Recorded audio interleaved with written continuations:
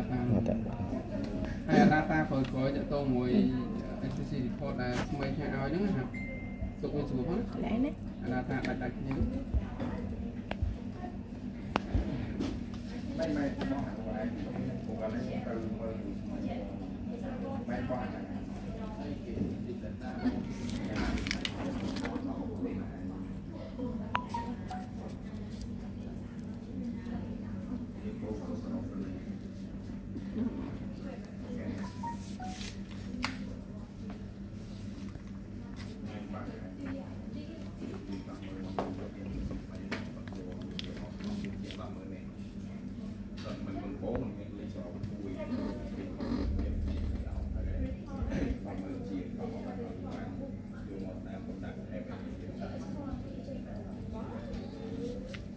លុបចោលទៅស្ទំសិន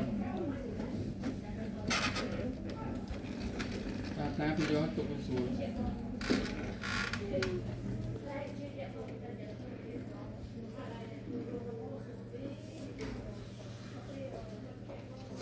ណាប់អញប្រមូលនៅដាក់ចូល SPC 2020ទាំងអស់2020នឹង2020បាន